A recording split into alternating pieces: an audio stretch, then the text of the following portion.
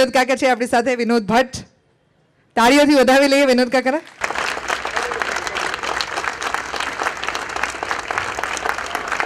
મારી ભાણીનો ફોન હતો મારી ઉપર કે તમે આજે જવાના છો?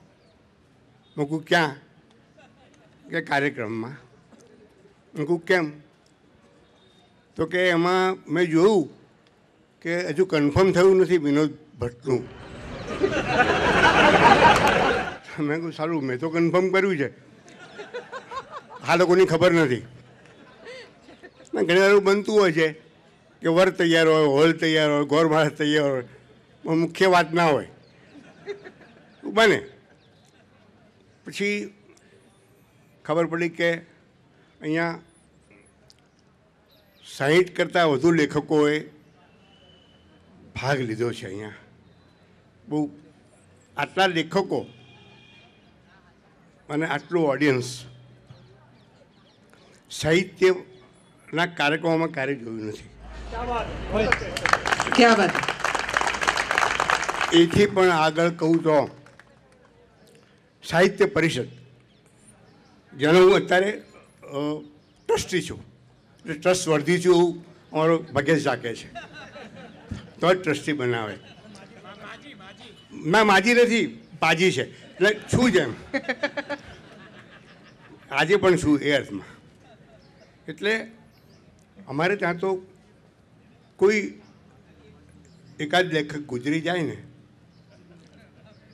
તો અમે વાટ જોઈએ છે. કે બીજા કેટલા લેખકો વેન્ટિલેટર ઉપર છે. અને ચાર પાંચ જણાનું થાય. એટલે પંચતા પરમેશ્વર એમ. એટલે પંચ મહાભૂતમાં ભળી ગયો. પછી અહીંયા અમે શોક સભા કરીએ છીએ. સમૂહ લગ્ન જેવું સમૂહ શોક સભા. બિલકુલ એવું, બિલકુલ. જરાય ચીનુને ચીનુને ખબર છે. હમણાં રાજેન્દ્ર પટેલની વાત કરીએ. સનભાઈ એને સ્ટેન્ડિંગ ઓવેશન આપ્યું.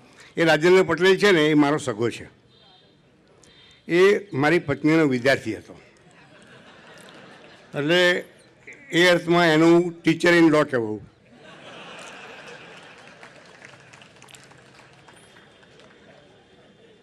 પછી મને વિચાર કર- કરતાં લાગ્યું કે સારું વહેલો એ પહેલો છે સીટ ઉપર બી એવું જ હશે કદાચ. વહેલો આવે એ બોલીને જતો રહે. એટલે મેં કહું ભાગ્યશાહી મને ફોન કર્યો. એ ગાંધીનગરમાં રહે છે.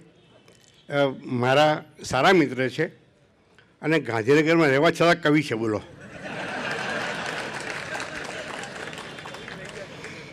એ કેટલીક વાર મારી સલાહો લેતા હોય છે. એમની સલાહ બીજાઓ લે છે, એ મને ખબર છે. તો વચ્ચે એમને ડાયાબિટીસ પકડાયો. એમણે મને કહ્યું કે વિનોદભાઈ ડાયાબિટીસ આવ્યો યાર, હો. મૂકું.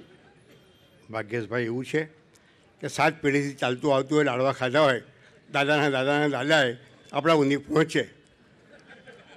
પાઘડીનો વળછેડે નહીં વચ્ચે કહેવતોનો એક સેશન ગઈ ને, મણિલાલ હ. પટેલ. એ મારા મિત્ર છે પણ. પણ એની મુશ્કેલી એક જ છે, હાસ્યના બદલે હાસ્ય બોલે છે. ભાગ્યશાની વાત થોડીક આગળ કરીએ તો એમણે મને કહું કે આ ડાયાબિટીસ છે. મેં કહું અમારી એક એક મારી પાસે એક ઉપાય છે કે મને પાંત્રીસ વર્ષથી છે.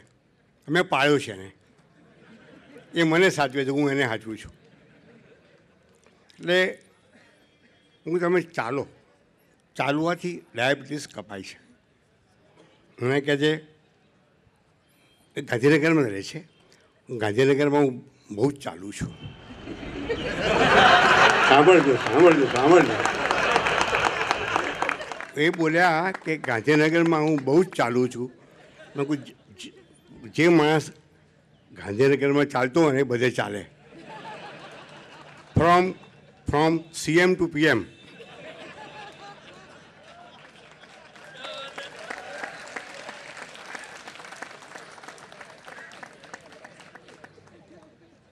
આ વિષય મને મેં વાંચ્યો છાપામાં તારે ખબર પડે કે આપણું આ છે વિનોદ ભટ્ટ સાથે ભેજા ફોડી. સાંભળીને મેં કહ્યું કે આ આવો વિષય કેમ રાખ્યો ભાઈ? મને કે એટલા માટે કે આકર્ષક વિષય હોય ને ટાઇટલ આકર્ષક હોવું જોઈએ. તો લોકોને રસ પડે ને આવે. મેં કહું ભાઈ, શ્યામભાઈ, આ ટાઇટલ જરાય ક્લિયર નથી. ટાઇટલ કરિયર નથી. એનું કારણ એ કે એ માટે ભીજું હોવું જરૂરી છે. મને બે વખત મેં મગજનું સ્કેનિંગ કરાવ્યું છે. કશું નીકળ્યું નથી. ડૉક્ટરે કહ્યું પણ હતું મને એકવાર કે ફોર માઇન્ડ નેવર માઇન્ડ અને આમ જોવા જઈએ તો મારું શરીર છે ને બિલકુલ રોગોની ધર્મશાળા જેવું છે. માત્ર બહેનોને થતી અમુક બીમારીઓ બાદ કરતા. ઘણી બધી બીમારીઓ મેં વેઠી છે. બીમારીઓ મને વેઠ્યો છે. એમાં એવું થતું કે સ્ટેન્ટ સ્ટેન્ડ પણ મુકાયું છે. જો સ્ટેન્ટ છે ને, મુકાયા પછી મેં ડૉક્ટરને જરા ચિંતાથી પૂછ્યું કે ધારો કે હું જોરથી ડૉક્ટર સાહેબ ખાંસી ખાઉં, ઉધરસ ખાઉં બકાસું ખાઉં, તો સ્ટેન્ડ સરકીને પડી જાય ખરું? ડૉક્ટર કે જો ભાઈ, એક વાત સમજી લો. જો સ્ટેન્ટ તમારે જોઈતું હોય ને, તો પોસ્ટમોર્ટમ કરવું પડે. મારે જોઈતું નથી, આ તો જ્ઞાન સમૃદ્ધ થવા પૂછું છું યાર. આ રીતે હું મને મને ડિસ્ટર્બ ના કરો. પરીક્ષામાં એવું થતું હતું. ના લખવાનું લખીએ એટલે પછી નાપાસ થઈએ. તો પછી આજે નક્કી કર્યું, થોડુંક લખવું થોડું બોલું.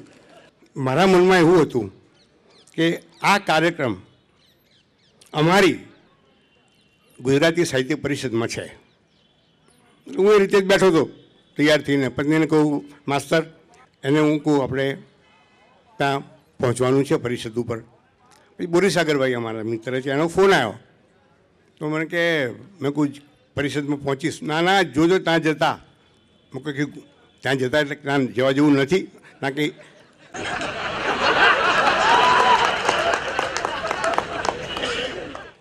ના ના એ અર્થમાં નહીં, કાર્યક્રમ ત્યાં નથી કારણ કે સાહિત્યના કાર્યક્રમો મોટે ભાગે પરિષદમાં થતા હોય છે. સંખ્યાને બાદ કરતા મધુરાઈને જાણીને આનંદ થશે કે જેમ નટી શૂન્ય નાટકો પ્રેક્ષક શૂન્ય નાટકો હોય છે અમારે અમારે ત્યાં પ્રેક્ષક શૂન્ય કાર્યક્રમો પણ કરીએ છીએ અમે.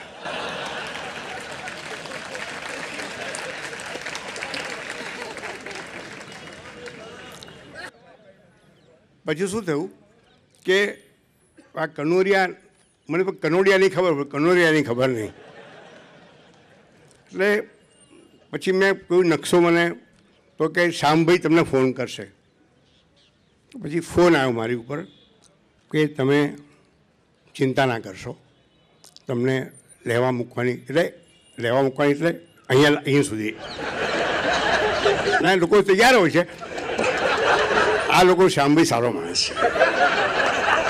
એટલે એટલે મને એમ થયું કે મારી જાત પ્રત્યે જરા ક્રોધ થયો. કે વિનોદ ભટ્ટ તે પુસ્તક લખ્યું છે, અમદાવાદ એટલે અમદાવાદ. અમદાવાદની ભૂગોળની ખબર નથી તને? ભાઈઓ, એવું છે કે અમદાવાદ બે અમદાવાદ છે. અમે રહીએ છીએ એ નદી પારનું આ, જે આપણે આવ્યા છીએ તે. પણ મને આનંદ એ વાત છે કે અરુણાબેન સામે બેઠા છે. જે કોફી મિટ્સ ચલાવે છે.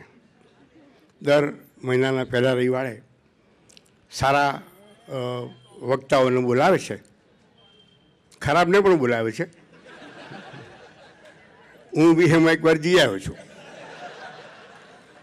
અવિનાશભાઈ અમારા મુંબઈમાં કોફી મેચ ચાલતું હતું, એમાં હું એકવાર ત્યાં પણ જઈ આવેલો. આપણે તો એવું બોલાવો તો જવાનું. બાન બહુ નહીં માગવાના. એકવાર તો એવું થયું કે પોલીસોનું કંઈક મંડળ હતું, ને મેળાવડો હતો. બોલાવ્યો મને તો એક પોલીસ ઇન્સ્પેક્ટર. તો એકદમ જ એણે નામ આપું છું. અમે બધા નામ આપવાના છે આપણે, એવું રાખ્યું છે. ડૉક્ટર સુરેશ જોશી સીતાંશુ યશસ્ચંદ્ર નામ નહીં. એ આવા બધા લાભશંકર ઠાકર રાજેશ્યામ શર્મા, આ લોકોની કવિતાઓ કડકડાટ બોલી ગયો મારી આગળ. એ ઇન્સ્પેક્ટર પોલીસનો ચકિત થઈ ગયો. મૂકું સારું, આપણે ફાંફા પડે યાર વાંચવામાં. આ તો યાદે રાખ્યું ને બોલી પણ ગયો. મેં પૂછ્યું, ભાઈ, આનું આટલા બધા કવિઓ તમે કેવી રીતે મોઢે યાદ રાખી શકો છો? કોઈ તો ખરા રહસ્ય છે? મને કહે ઇટ્સ આ ટ્રેડ સિક્રેટ ધંધાનું ના કહેવાય. આપણે તપાસ કરવી પડે ને યાર. મેં સાલ પછી ઓઢાડવાની હમણાં નહીં. એ દિવસો એ દિવસો ખાસા દૂર છે હજુ. Thank you please please take it easy હા હું એ બોલું મેં તપાસ કરી એ ઇન્સ્પેક્ટર વિશે તો એમને છે ને ઇન્સ્પેક્ટરને ત્યાં ગુમતીપુર વિસ્તારમાં પોસ્ટિંગ માથા ભારે લોકો બહુ છે સખત ગુંડાગીરી બહુ ચાલે ત્યાં એમને મૂકેલા એટલે ત્યાં શું છે કે કોઈ ગુંડાગીરી કરે એટલે થર્ડ ડિગ્રી ટ્રીટમેન્ટ આપવી પડે. બરફની પાટ પર સુવાડે, પંખા નીચે લટકાવે પેલા નખ ખેંચી કાઢે પગના. આવું બધું થાય. તો પણ રીઢા એટલે રીઢા. જેમ રાજકારણીઓ રીઢા હોય છે એમ ગુંડાઓ પણ રીઢા હોય છે. એટલે એ છે ને, કોઈ ગુનો કબૂલ ના કરે અમારો ઇન્સ્પેક્ટર જેની મેં વાત કરી આગળ તે, એ શું કરે? આ લાગે કે આ ત્રણે થર્ડ ડિગ્રી નિષ્ફળ ગઈ, તો હવે ફોર્થ ડિગ્રી શરૂ કરીએ.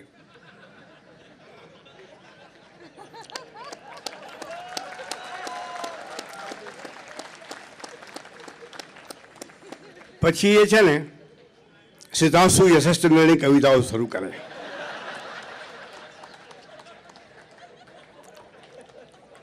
એક, બે કવિતા ટીંગ ટાંગ ટાંગ કે શરૂ થાય ને, એટલે પેલો બિચારો ઢીલો પડીને કહી દે સાહેબ, તમે કહેતા હો ને, તો ઇન્દિરા ગાંધીનું ખૂન મેં કર્યું, જાઓ બસ. આ બંધ કરો. અને આમાં ફાયદો શું? કે ધારો કે જે એને ગુનો કર્યો હોય, ગુનેગારને કોર્ટમાં લઈ જાય, પછી પૂછે છે જજ તને કંઈ મારઝૂડ કરી છે? તો ઢીમડા દેખાય. સોળ પડી ગયા હોય. બરાબર બધા આ જો એ માર્યું છે. પણ અહીંયા તો એવું મૂળ માર માર્યો હોય ને, કે બતાવી પણ ના શકે. કોઈ સાચું પણ ના માને. એટલે આ આ અમદાવાદની વાત છે અમદાવાદની અમદાવાદની સાંભળી ક્યાં ગયા? ને કયા સારા કાર્યક્રમમાં નથી ગયા કોઈ બીજા?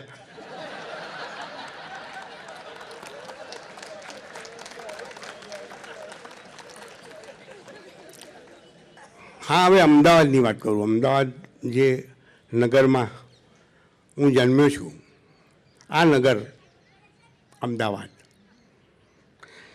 જેને જહાંગીરે ગરદાબાદ ધોળિયું શહેર કહ્યું છે. અને એ શહેરની રીતિને માથા પર મૂકવાની વાત કરી છે. એક જમાનો હતો જ્યારે અમદાવાદની જે બારીક રેતી છે ને, એનો સુરમો બનાવવામાં ઉપયોગ થતો હતો. એ કારણે એ રેતી મોંઘા ભાવે વેચાતી હતી. તમે જુઓ કે અમદાવાદનીને બીજાની આંખમાં ધૂળ નાખીને ધંધો કરવાની કેવી ફાવટ આવી ગઈ છે. અમદાવાદની પોળો, આ પોળોનું નગર છે. અહીંયા બકરીપોળ પણ છે અને વાઘ વાઘણપોળ પણ છે.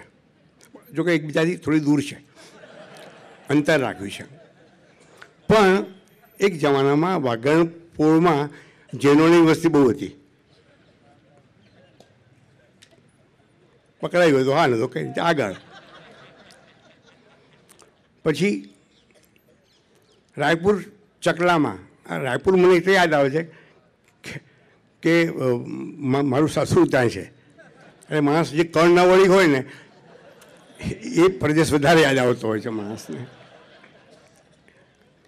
એટલે એક જમાનામાં હમણાં તો બધું બંધ થઈ ગયું છે. આ મોદીએ કંઈક એવું, મોદીના તોફાનને કારણે શહેરમાં તોફાનો બંધ થઈ ગયા છે, બોલો.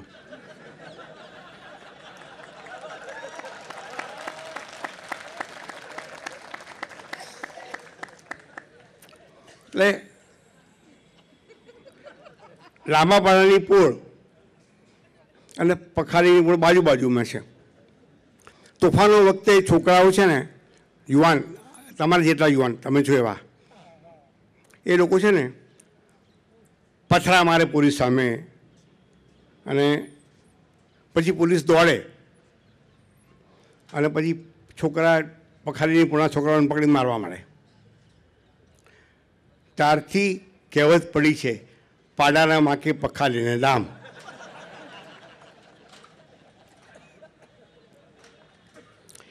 શહેરમાં કોઈ અજાણ્યો માણસ જાય તો એને ખબર પડે કે કયા વિસ્તારમાં છે. હિન્દુ કે મુસ્લિમ? જે વિસ્તારમાં ગાયો ફરતી, ચરતી બેઠી હોય અને છાપા ખાતી હોય, વાગોળતી હોય. કેટલીક વાર તો એવું બને કે જે સમાજ આપણા ગળે ના ઉતરે, ગાયો પોતાના ગળે ઉતારવા પ્રયત્ન કરતી હોય છે. એ ગાયો. તો જો ગાયોને બધું દેખાય, પછી એવું છે કે પેલો રબારી સમય થાય ને એટલે સ્કૂટર લઈને આવે. અને ગાયને ત્યાં જ ત્યાં જ છે ને દોઈ લે. આપણે થાય પેટ્રોલ આટલું મોંઘું, પણ દેસાઈઓને છે ને ક્યારેય પેટ્રોલ મોંઘું પડતું નથી. એમને પાણીના ભાવે પેટ્રોલ મળતું હોય છે. તમે હસી પછી હું આગળ બોલીશ. એમને પાણીના ભાવે પેટ્રોલ મળતું હોય છે. દેસાઈ એટલે ગાયને દુનારાઓ એ બકરીઓ ફરતી હોય તો માનવું કે એ મુસ્લિમ વિસ્તાર છે. પણ ભાગ્યેશભાઈ, જો તમને ભૂંડ દેખાય, તો માનવું ગાંધીનગરની ભાગોળે આવી ગયા છો તમે. તમારી કોફી બાકી છે, કોફી પીસ પછી સારું બોલીશ જાઓ. હવે હું થોડીક આપણે ગુજરાતી ભાષાના ગૌરવ માટે મળ્યા છીએ. તે મને એમ થાય છે કે અંગ્રેજીની થોડી વાત કરવી જોઈએ મારે.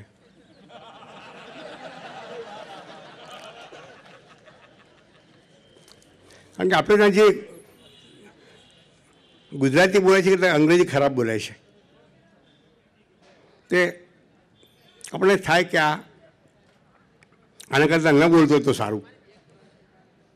આના કરતાં મનમોહન સારા એમ લાગે.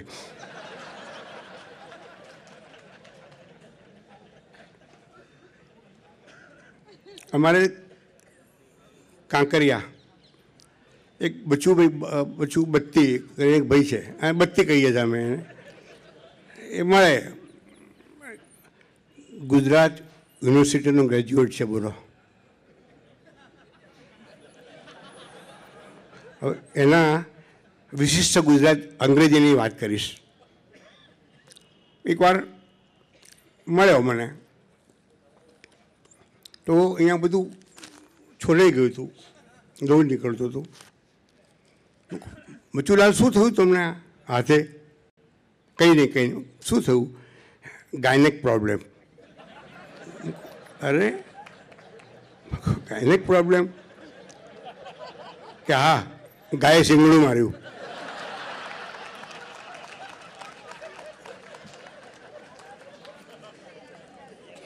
આ આ કક્ષાનું અંગ્રેજી વચ્ચે ત્રણ ચાર દિવસ અમે એ ના મળ્યો પછી આવ્યો હું ક્યાં હતા બચુલાલ જવા દેને કહે છે. શું થયું પણ એ તો કહો. અરે કે શરદી, કફ, ઉધરસ, સળેખમ, બધું ગેટ ટુગેધર થઈ ગયું. અમે બધા, હું ડૉક્ટર ચીનુ મોદી, અમે ડૉક્ટર કહેવાય આમ તો ચીનીઓ કહું છું. બે હોઈએ તારે અમે, પણ અહીંયા તો એને ઇનામ મળ્યું છે હવે તો. વચ્ચે એને નરસિંહ મહેતા એવોર્ડ મળ્યો હતો એ કેટલાનો હતો? દોઢ લાખનો. એ વખતે મેં એને અભિનંદન આવ્યો મને કે, જવા દે યાર. હું કેમ? કે સારું પીવાનું બંધ કર્યું એટલે પૈસા આવ્યા શું કરવાના?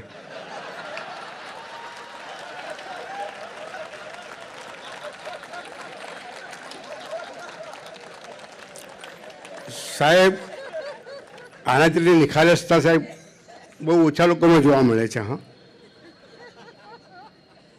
ચીનું મારો બહુ, અમે બધા સાથે સાથે લખતા હતા. અને એક વિશ્વ વિજ્ઞાન નામનો મેગેઝિનમાં અમે આપવા જતા હતા લેખો. તો જે સંપાદક હતો ને, એને એક ઓરડી આપેલી એ લોકોએ. રમણ આવલિકા નામ, જો નામ બી એને આ છે. તો પછી એના ઘેર જઈ એને એક દીકરી અઢી વર્ષની એ એ શાક સમારતા હોય ને દીકરી રડતી હોય ને ચીનું કે રમણભાઈ એક કામ કરો. જાઓ તમે નહીં જાઓ હું બેબીને રમાડું છું. બેબીને રમાડવાની ટેવને મોટી ઉંમરે બહુ કામ લાગી છે. એક અંકિત ત્રિવેદી અમારો એક યુવાન સારો કવિ છે અને એને કોઈકે પૂછ્યું ભાગ્યેશભાઈ પૂછ્યું હતું એકવાર કે અંકિત તું બુદ્ધિજીવી છે. અહીંયા એ ગાળ થઈ ગઈ છો તો એ કે ના ભાગ્યેશભાઈ હું છે ને શબ્દજીવી છું. સમથિંગ એટલે આ ગઈકાલે બોલ્યો હતો ને એ જ માણસ એ જ માણસ એ જ અંકિત. એ અંકિત છે ને એ મને કાયમ ફરિયાદ કરે કે વિનોદભાઈ હું તમારા દરેક કાર્યક્રમમાં આવું છું. તમે અમારા એક પણ કાર્યક્રમમાં આવતા નથી. ફરિયાદ કરી એણે મને. હું ભલા માણસ, એક વાત સમજ. તું મારા બેસણામાં આવે, એટલે એનો અર્થ એવો થયો કે મારે તારા બેસણામાં આવવું.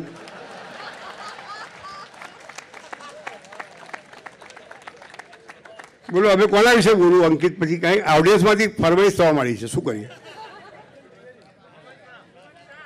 અર્ચન અર્ચન ત્રિવેદી. ગુણવંત શાહ આ ગુણવંત શાહ ગુણવંત શાહ. આ સવારે હતા. ગુણવંત શાહ અમારા બહુ સારા મિત્ર છે. અઠવાડિયામાં પાંચ વાર વાત કરીએ છીએ. એ બે ચીનું જોડે વાત કરું છું, એટલે હું- હું હું તો નથી જ બચતો.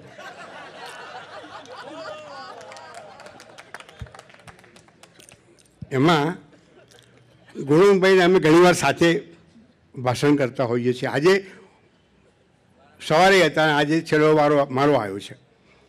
ગુણવંતભાઈનો પુસ્તક પ્રેમ છે ને ઉજય કરતાં પણ વધારે છે.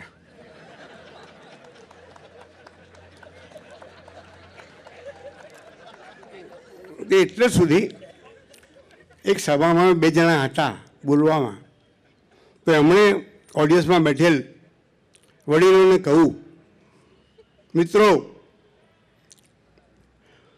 તમે તમારા ઘરમાં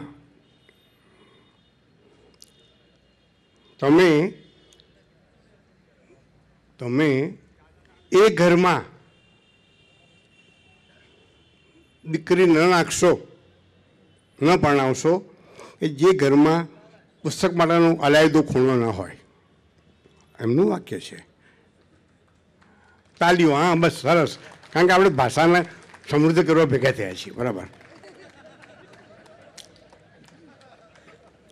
એટલે પછી, એમના પછી મારે બોલવાનું હતું. મેં કીધું ગુણવંતભાઈ, તમને કહ્યું છે કે જે ઘરમાં પુસ્તક માટેનો અલાયદો ખૂણો ન હોય, ત્યાં દીકરી પરણાવી નહીં.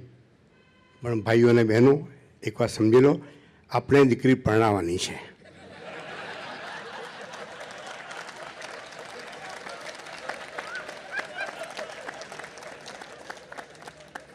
અને બીજું એ કે ગુણવંતભાઈએ પોતાની બે દીકરીઓ પરણાવ્યા પછી આવું કહે છે. કોકે રિપોર્ટ આપ્યો કે સવારે વિનોદ તમારું નામનો ઉલ્લેખ કર્યો હતો ગુણવંતભાઈએ મને યાદ કર્યો તો એમ. આપણે એમને યાદ કર્યા. વસલુમ એકવાર એવું બન્યું. ગાંધીનગરમાં સભા હતી. તમારા ગામમાં? ભાગ્યેશ ઝા હાથ જોડે છે હવે. એટલે ગાંધીનગરના જોડે મને જોડો છો?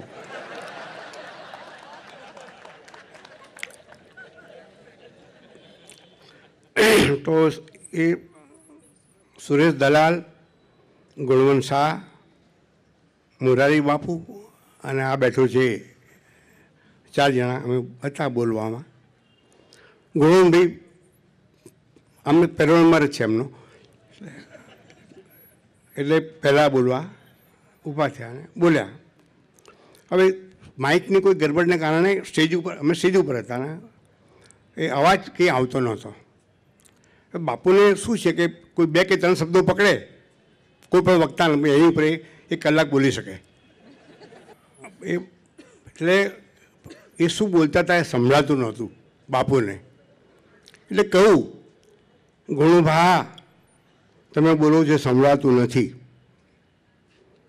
એટલે હું બાજુ બેઠો તો મેં બાપુ આપણા માટે નહીં ઓડિયન્સ માટે બોલે છે.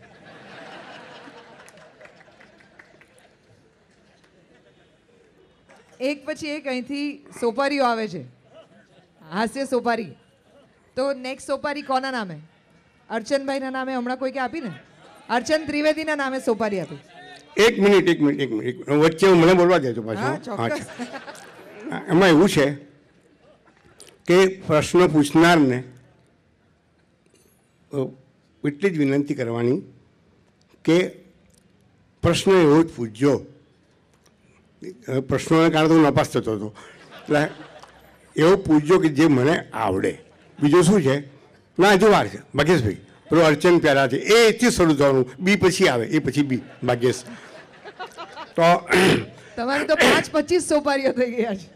તો આ છે ને આમાં તો એવું થતું હતું કે આપણને કાંઈ જઈએ એટલે હાસ્યનો લેખક છે એટલે એને હાસ્યનું જ પૂછવું જોઈએ. અથવા અથવા આપણે એનાથી ઉતરતા નથી એવું બતાવવું પડે. એવા પ્રશ્નો આવે. તો એકવાર મને લેડીઝ કોલેજમાં, અમદાવાદની કોલેજમાં ભાષણ કરવા ગયો. પત્યા પછી પ્રશ્નોત્તરી. મને એમને લઈ જવા આવ્યો છે. ના, સગાવાલા હોય તો લઈ જાય યાર.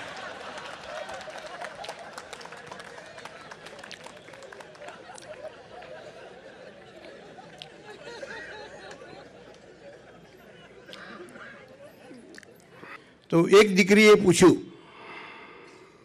મને કે વિનોદ ભટ્ટ, તમે ક્યારેય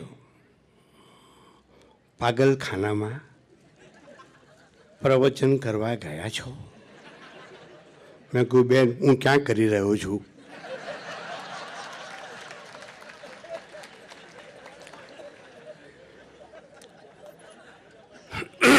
આજથી પચાસ વર્ષ પહેલાં એક જણે મને સવાલ પૂછ્યો હતો. ધારો કે વિશ્વ સુંદરી બળેવના દિવસે તમને રાખડી બાંધે તો? ફેંકું એ રાખડીથી હું આત્મહત્યા કરી લઉં. હા, બોલો ને. એ તો સારો કલાકાર છે યાર. અને મને ગમે છે. પેલી વાત કરી દે તું પેલી વાત કરીને પછી તારો સવાલ કર. નહીં આપણે એકવાર ઉમેદન કહ્યું તું અમદાવાદ વિશે. યાદ છે ભૂલી ગયો? એક કાર્યક્રમ હતો અમદાવાદ એટલે અમદાવાદ. અને એમાં વિનોદ કાકાએ અમદાવાદનો રિક્ષાવાળો એના ઉપર એક સરસ લખ્યું હતું ને જે મારે પરફોર્મ કરવાનું હતું. અને પછી શેરીના રખડતા કૂતરા એના ઉપર શ્યામલે લખ્યું હતું ને મારે પરફોર્મ કરવાનું હતું. લોકોને બંને પીસમાં બહુ મજા પડી. પૂરું થવા આવ્યું બધું કામ. વિનોદ ભટ્ટ સાહેબે કીધું કે એક મિનિટ એક મિનિટ એક મિનિટ કે અર્ચનને બિરદાવવો પડે. અર્ચને રિક્ષાવાળાનો જે અભિનય કર્યો એ તમને બધાને ખૂબ ગમ્યો બધાએ ખૂબ તાળી પાડી. કે શેરીવાળું જેણે કર્યું કૂતરાવાળું એ પણ ગમ્યું. તો કે આ બંનેમાંથી નેચરલ એ કૂતરાવાળામાં હતો કે. આજે તમે બધા મારે તમને સીધો જ એક પ્રશ્ન પૂછ્યો છે. સાહિત્યમાં શું છે કે ક્રિએટિવિટી જોઈએ? હવે તમારી નવ તમારી આત્મકથાનું નામ જ એવું છે એવા રે ભાઈ એવા અમે. આ તો નરસિંહ મહેતા જેવું તમે કર્યું છે એક વાત. અને બીજું આ બધા અમે બધા યુવાનોની આ સાહિત્ય સભા છે. તમે યુવાન છો? નહીં ના ફેર ચોખવટ કરો પછી આપણો પ્રશ્ન બસ. હા પાડે છે. હા તો પછી પ્રશ્ન આવવા દો હા એટલે જવાબ હું આપું પછી તમને. અમે એ જ કહીએ છીએ કે આ બધા યુવાનોની સાહિત્ય સભા છે અને તમે એકદમ આ ધોળા વાળ સાથે આવ્યા છો? તમને એવું નથી તમને ઈર્ષા થાય છે?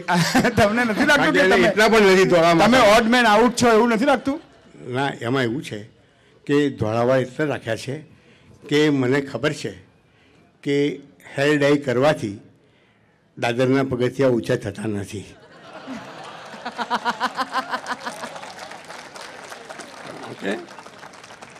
ચીનું હવે ચીનું. બી પછી સી એ પછી બી પછી સી. એટલે જ આવ્યો. આ વિનોદ ભટ્ટ કવિતા પણ લખતા.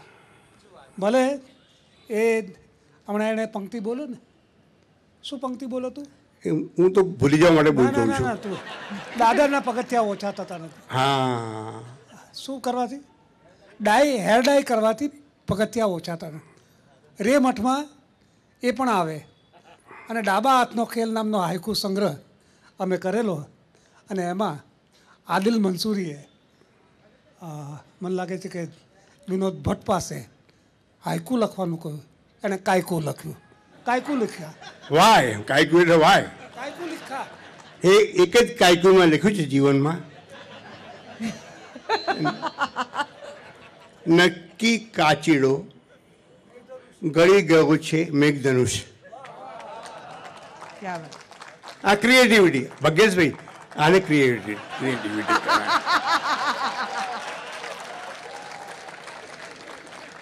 સ્નેહરશ્મિનું હાઈકુ વાળું કહો એમ કે છે. સ્નેહરશ્મિની વાત કરું. ઘણા વિદ્યાર્થીઓ હમણાં હશે. ના નહીં હોય કારણ કે યુવાનો છે અહીંયા બધા. એનું ગુજરી ગયા ઘણા વર્ષો થયા. એ બહુ જ જેના દાદા બહુ જ સારા કવિ. પણ એમને એક જ મુશ્કેલી કે કોઈ માણસ જો અડફેટે ચડી ગયો, તો કવિતા સંભળાવવાની હાઈકુ હાઈકુ હાઈકુ. એ જમાનામાં યશવંત શુક્લ એ એમના વિદ્યાર્થી. રાત્રે દોઢ વાગે ફોન કરે, યશવંત, એક હાઈકુ સૂજ્યું છે. એટલે પછી કે, સંભળાવો. તો પાંચ છ. સંભળાવી દે એકવાર એવું બન્યું કે એકવાર એમને રોંગ નંબર લાગી ગયો ફોન ઉપર. એ બધા આઠ આના હતા. ભાવ. એટલે એમણે પેલાને કહ્યું, જો ભાઈ, મારા તો આઠ આના પડી ગયા. હવે મારું એક આખું સાંભળો ને.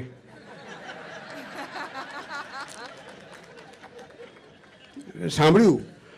શું થાય? પછી અ, મારી પત્ની ગુજરી ગયેલી. તો ઝીણા દાદા બેસવા આવ્યા બેસણે. આવ્યા એટલે પછી આપણે એમ થાય કે આટલો ઝીણા દાદા જેવો મોટો માણસ. આપણે તો બેસવા આવે. તો અંદરથી મને સારું લાગ્યું. ચાંપા સુધી મૂકવા ગયો. મારા ખભે હાથ મૂક્યો. મને કહે છે, વિનોદભાઈ, મૃત્યુ એ માણસનો જન્મસિદ્ધ અધિકાર છે. ખરી વાત છે. એમાં આપણે શું વાંધો હોય? છે, કારણ કે દવાની બાટલી પર લખેલું હોય એક્સપાયરી ડેટ પણ માણસમાં લખેલી નથી હોતી. એટલે આપણે એમાં કંઈ વિવાદનું કોઈ કારણ નહોતું. બબ્બે કવિતા સંભળાઈ. મને પહેલી વાર લાગ્યું પત્ની મરી ગઈ છે.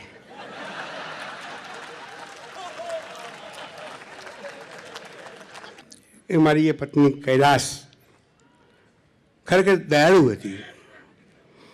જેને સેજ પણ અણસાર આવી ગયો હોત કે મારા મરવાને કારણે મારા વરના આટલા ખરાબ દિવસો આવશે તો એ ચોક્કસ ના મરી ગઈ હોત. ચંદ્રકાંત બક્ષી મારા બહુ સારા મિત્ર, એટલે હું એમને મિત્ર ગણતો હતો. અને અમારો સંબંધ છે ને લવ હેટનો હતો. એ પહેલાં મને ખૂબ ચાહતા. મારું એક શ્રેણી ચાલતી હતી વિનોદની નજરે, કુમાર નામના મેગેઝિનમાં.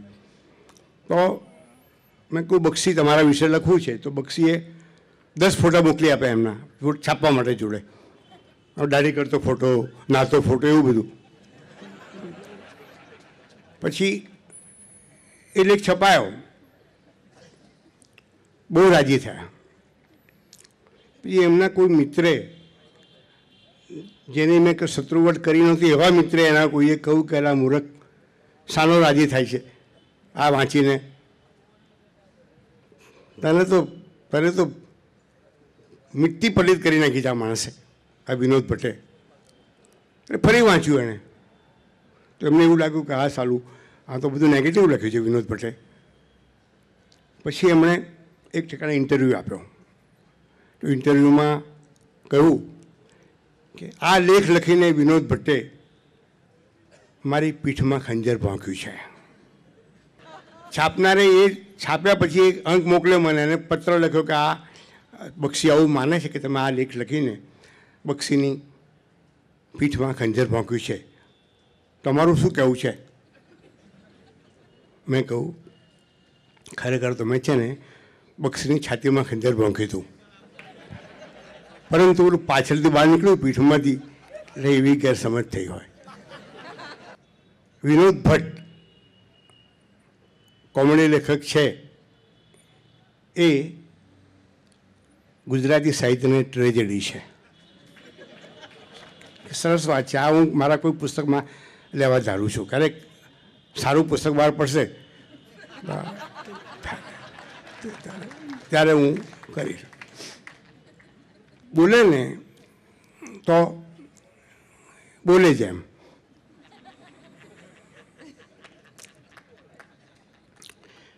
એટલે આપણને, અમે ઘણીવાર એને સમજાય નહીં એ રીતે. અને પોતાની જ વાત કરી, પોતાની જ. હું હું હું હું. એટલે અમે એને આઈ સ્પેશિયાલિસ્ટ કહેતા હતા. હું. આઈ આઈ આઈ આઈ. અમારે એવું કે એ અમદાવાદમાં આવે ને, મને ફોન કરે, વિનોદ બાબુ, બહુ એટલો મીઠો અવાજ અને બહુ સૌજન્યથી વાત કરે. લખવા બેસતા સૌજન્ય જતું રહે.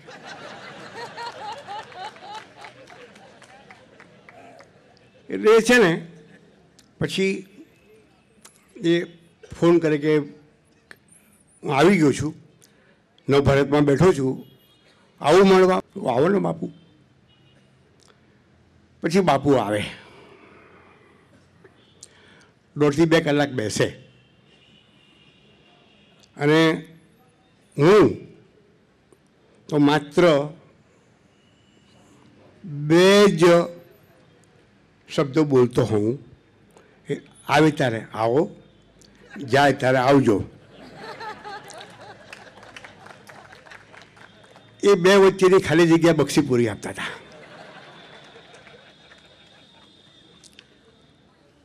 એકવાર એમને ખ્યાલ આવ્યો. આ વિનોદ ભટ્ટ પણ લેખક છે. અઘરું છે અઘરું છે. અત્યારે બીજાના લેખક ગણવો ને, એ it's very difficult very difficult એટલે એણે છે ને, મને પૂછ્યું, વિનોદ બાબુ, આપકા કુછ નયા આયા હૈ? કે નવું કંઈ લખ્યું જ તમે? હવે યોગાયોગ એ દિવસે મારા, મારું નવું પુસ્તક ગુર્જરમાંથી બહાર પડેલું. તેમાં પછી મેં કહું આ, આજે જ આવ્યું છે.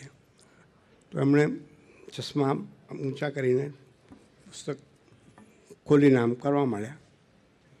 એમાં મેં એવું રાખ્યું છે કે એક યાદી વિનોદ ભટ્ટના બહાર પડેલા પુસ્તકો પ્રગટ પ્રગટ થયેલા.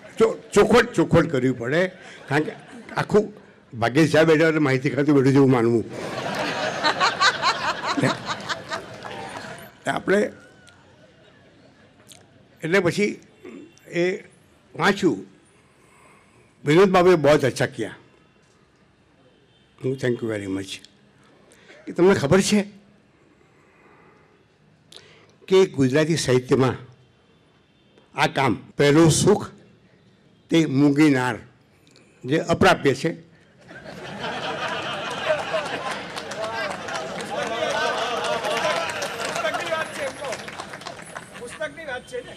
ના ના બંને અર્થમાં. પુસ્તકની વાત છે બંને અર્થમાં. પણ આજે તમે જો તમે કસોટી આમની થાય છે. બોલી શકતા નથી. માઇક હાથમાં હોવા છતાં બોલી શકતા નથી. તમે જુઓ.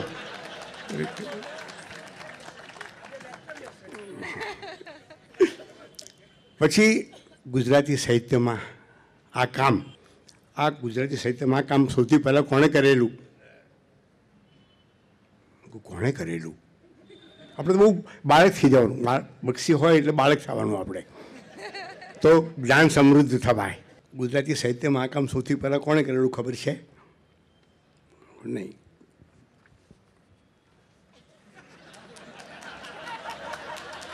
આમ સ્ટાઇલ હતી આ. બક્ષીએ બક્ષીએ.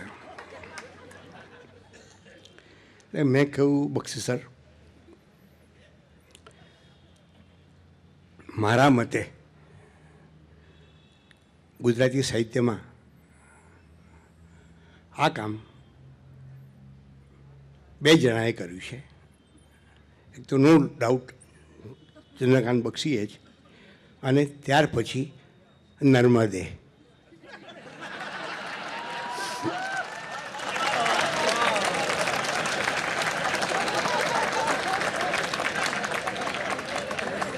મને કહે છે પઠ્ઠો આ કામ પણ કરી ગયો છે? પઠ્ઠો ઉલ્લોનો પઠ્ઠો એમ. કહું, સાહેબ એવું છે કે આપણે બીજાનું વાંચતા ન હોય એટલે આપણને ખબર ના પડે. બક્ષીએ મને એમની કોલેજ એ વખતે મીઠીભાઈ કોલેજમાં એ લેક્ચરર હતા. તો મને કે ભાષણ કરવા તમે આવો. આવો તો એક ભાઈએ પૂછ્યું કે એક ભાઈએ એક છોકરા વિદ્યાર્થીએ પૂછ્યું કે, વિનોદભાઈ, અમારા બક્ષીસર માટે તમારો નિખાલસ અને પ્રામાણિક મત શું છે? એ અમને કહો. છોકરાએ પૂછ્યું, મેં કહું, ભાઈ, એક વાત તને માહિતી આપવાની એટલી જ છે કે આ કાર્યક્રમ પત્યા પછી મારે બક્ષી ઘરે જમવા જવાનું છે. તારે મને ભૂખ્યો રાખવો છે.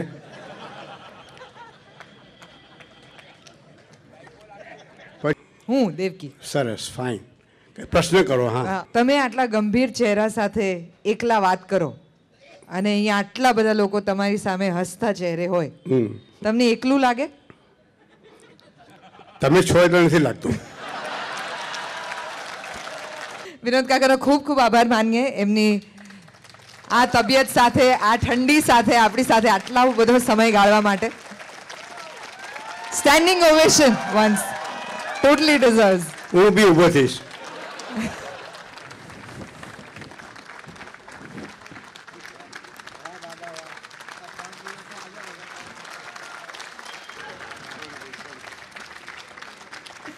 એક છેલ્લે જતા જતા એક મેસેજ આપતા જાઓ ને. બહુ બધા યુવાનો અહીંયા જેટલા પણ કાળા માથાવાળા છે ને એ બધાને છેલ્લા ત્રણ દિવસનો એવો અનુભવ છે કે આ સાહિત્ય છે ને એ બહુ સિરિયસ છે. બહુ ગંભીર છે ને બહુ વેદના અને બહુ પીડામાંથી બહાર આવે છે. તો ઓપ્ટિમિસ્ટ હેપી સાહિત્ય લિટરેચર ફોર ફન એ કેવી રીતે બની શકે? થોડી ટિપ્સ આપો ને અહીંયા તો બહુ સાહિત્યકારો છે. વિનોદ ભટ્ટને વાંચો. On that note, we will end our three days festival, Gujarati Literature Festival. We thank you on behalf of uh, entire team. Thank you very much, Ahmedabad. Thank you.